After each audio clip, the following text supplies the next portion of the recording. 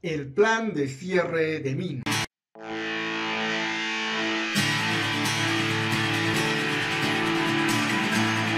Estimados amigos, damas y caballeros, bienvenidos nuevamente a mi canal. En esta oportunidad vamos a hablar acerca del plan de cierre de minas, una explicación breve y rápida en el contexto actual eh, por parte del gobierno y algunas de las empresas mineras importantes en Ayacucho. Bien, para hablar de este tema primero debemos ver el contexto eh, general de la minería en el Perú, eh, debido a que es de vital importancia tener conocimiento cuál es la situación actual de la minería en el Perú. La situación actual de la minería en el Perú consta de dos fases o dos etapas paralelas que se vive actualmente en el Perú. Uno es el proceso de formalización por la vía extraordinaria y otra el proceso de formalización por la vía ordinaria. En el caso de estas minas, y explico rápidamente aquí en el mapa, por ejemplo, aquí tenemos en el Geocadmin eh, el departamento de Ayacucho con sus provincias, pues, sus distritos, ¿no? Entre Sancos, Chaviña, Coracora, eh, Puyo, entre otras donde se encuentran pues ubicadas eh, las minas más importantes de Ayacucho. Entre este eh, contexto pues está eh, la mina Apumayo. Apumayo es una empresa minera ya que ha venido trabajando durante buen tiempo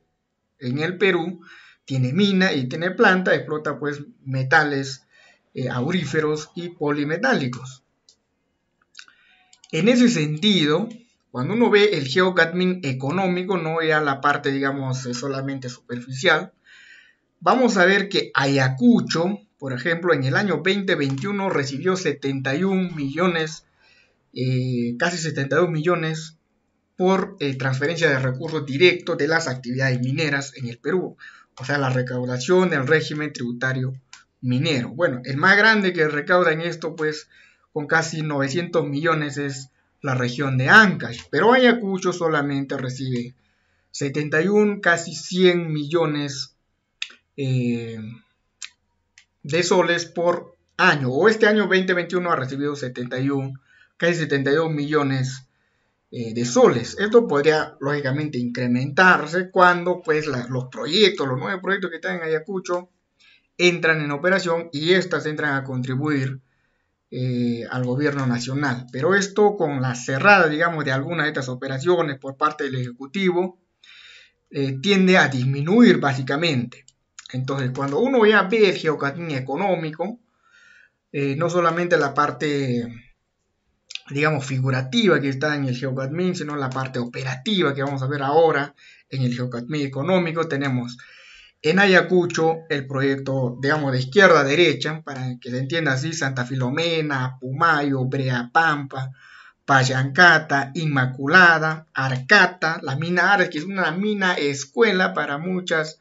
generaciones de estudiantes de ingeniería de minas, ingeniería ambiental, ingeniería civil y otras relacionadas con la extracción eh, propiamente dicha en el Perú. Eh, proyectos importantes, Lucho, Coripampa, Esperanza, varios proyectos, por no decirlo muchos, que ya son innombrables para el video, eh, en la zona de Ayacucho. Pero ahora estas comunidades, digamos, se han levantado y han llamado al Ejecutivo para que tome ciertas medidas, digamos, no tan legales, si nos apegamos a la normatividad peruana, frente a estas actividades mineras. Una de esas cuestiones que reventó ha sido pues el plan de cierre de minas, quizás por desconocimiento, por ignorancia de la Premier Mirta Vázquez, ha lanzado ciertas afirmaciones que desde luego no tienen un sentido eh, lógico respecto a la cuestión pues eh, administrativa en el Perú. Entonces hay un tema ya de administración, de desconocimiento, porque simplemente eh, tienen otra tendencia política quizás, ¿no? Pero sí tenemos estos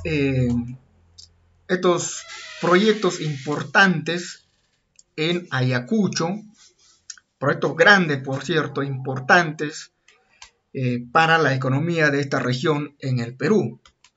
Ahora, respecto al plan de cierre de minas, ¿cuándo se da, por ejemplo, el plan de cierre de minas? Eh, el plan de cierre de minas se da pues eh, administrativamente o documentadamente desde o antes del inicio de operaciones para los que están en el proceso ordinario. En el caso de estas unidades operativas mineras en el Perú, que son Inmaculada, Breapampa, Payancata, Pumayo y todo lo demás que no voy a nombrar que están allí, eh, en Ayacucho, pues se ha dado antes de que ellos hagan la primera tonelada de mineral. Según la legislación peruana, esto tiene una vigencia de cinco años, la primera resolución de cierre de minas, luego va eh, actualizándose y o modificándose según las condiciones del, proyecto cada 3, 4, 5 años depende de las condiciones, pero las leyes establecen que cada 3, 4 años se debe actualizar o modificar, o cada 5 años, o después de los 5 primeros años, la modificación y actualización de estos planes de cierre. El gobierno comete un error al decir que, bueno, sí, tenía un plan de cierre establecido y debió cerrar tal fecha. Eso no es cierto, debido a que la normatividad peruana exige que se presente cada 3, cada 4 años la actualización y o modificación de cierre de minas después del quinto año de haber eh, obtenido la primera resolución de cierre de minas. En ese sentido, pues, no está, digamos, estrictamente ligado el plan de cierre de minas con la vida útil que tiene la mina. Es decir, la vida útil de la mina se puede estimar en 50 años. Y el plan de cierre de minas pues, no, se, no se estima para después de 50 años, sino que según la legislación peruana es 5-4 y en esa proporción van aumentando los años hasta que la vida útil de la mina pues termine. La vida útil de la mina no se estima en un año, en dos años, eh, para gran, gran minería, mediana minería. Eso solamente puede ocurrir en pequeña minería, en minería informal o minería quizás ilegal, ya no tan técnica en su modo operativo, pero para la mediana, la gran minería y estas empresas son de ya categoría mediana minería,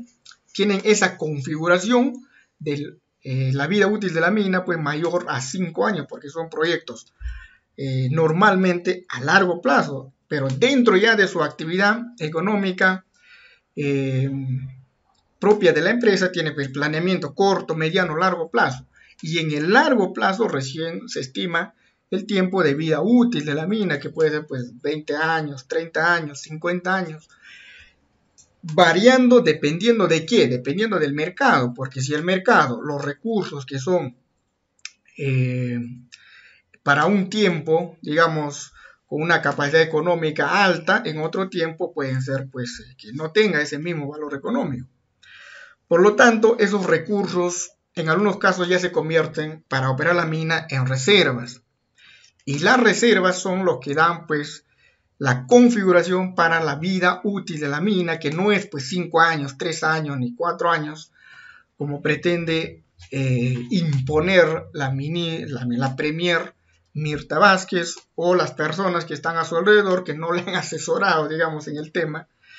eh, de cuánto dura eh, la vida útil de la mina. Y en función a la vida útil de la mina es que la mina opera cuando los recursos se convierten en reservas y esas reservas dan pues la vida útil de la mina y eso, y eso no está sujeto a lo que diga el ministerio porque un documento una resolución dice, bueno, el plan de cierre se amplió hasta diciembre del 2021, allí debe acabar. No es así. Tampoco es cierto que el gobierno diga, bueno, pues como ya ellos están contaminando, supuestamente contaminando, se cierra la mina, así de sencillo, y al final no lo vamos a dejar así nada más que ellos se vayan a cerrar la mina. Sí pueden dejarlo, porque la ley también establece tal parámetro eh, para ello, pues ellos pagan una garantía de cierre de minas, con lo cual, pues la mina puede, cuando ocurre este tipo de condiciones, eh, dejar las operaciones sin más, así sin más, dejar las operaciones e irse y, además cobrar, pues, la indemnización al Estado por no cumplir su parte de, pues, garantizar o prestar toda la garantía para que la actividad minera se realice sin ningún inconveniente en el Perú. Eh, de tal forma que la ministra no puede venir a decir, bueno, sí, le vamos a obligar a que cierre la mina, no puede obligarle. En ningún punto de la ley establece tal cosa cuando la empresa minera paga su garantía de cierre de minas, eh, cuando ocurre cualquier inconveniente, durante el proceso de extracción, eh, pues deja de operar por alguna razón la, mina, ¿no? La operación. Entonces ellos pagan la garantía de cierre de mina, con lo cual pues ya ellos quedan libres de toda responsabilidad, digamos, eh, ambiental, social, respecto a las actividades que van dejando a lo largo del tiempo. Con lo cual, el gobierno no puede coartar a ninguna empresa y decir, bueno, usted cierra la mina porque yo te lo digo. No es así, pues eso sí, eso es totalmente falso.